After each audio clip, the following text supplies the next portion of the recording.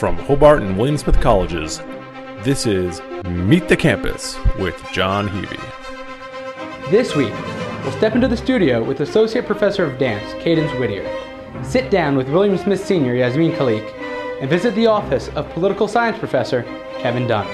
So join me this week and every week for Meet the Campus, where we report and you decide. With courses ranging from anatomy and kinesiology to arts and the human development, Associate Professor of Dance Cadence Whittier teaches her students to see their discipline from multiple perspectives. So I'll experience failing and falling over and tripping or messing up a sequence or not getting a concept. And I'm just really enjoying that, that practice of then how do I figure it out?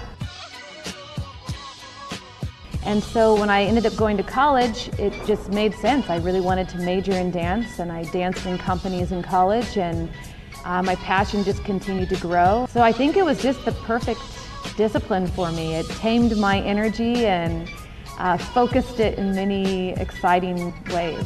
To be physically connected in our bodies again, I think provides a wonderful kinesthetic learning experience that's it's absolutely crucial in a liberal arts setting. So students come to know themselves in many different ways, who they are as movers, who they are as thinkers, who they are as artists and creators.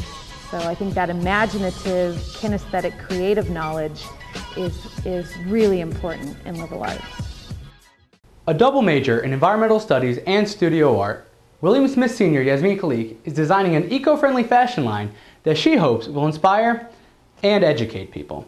I went to a performing arts high school and I could have easily gone to an art conservatory, but the reason why I chose Hobart and William Smith was because I was looking for a liberal arts education.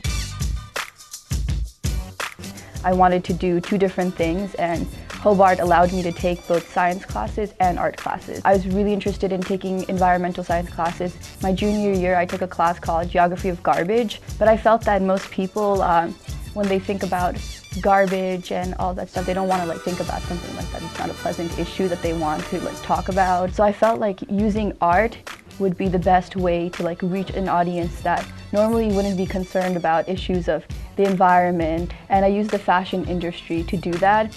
A lot of the themes in our in our fashion show has been recycling materials that we've used in the past. I've gotten to work really closely with professors. I've done four independent studies here on exactly what I want to do and created my own like subjects and like point of interest with these professors. An expert in politics and international relations, Professor of Political Science Kevin Dunn looks to the punk rock movement to explore the role of anti-status quo attitudes in political action. So I try and write and be active in different uh, communities and different audiences asking these questions about punk and politics. So that's actually uh, the poster for the theatrical release of the documentary I did called My Life is Great, the Stevie Stiletto story, about my uh, hometown uh, punk rock band. And in that documentary, some of the issues that I'm interested in about uh, punk and the politics of punk come out. The idea of a do-it-yourself uh, ethos, uh, and also about disalienation. One of the issues of disalienation is to recognize that you are um, an active member of, of, the world community and to stop being a passive consumer but an active producer.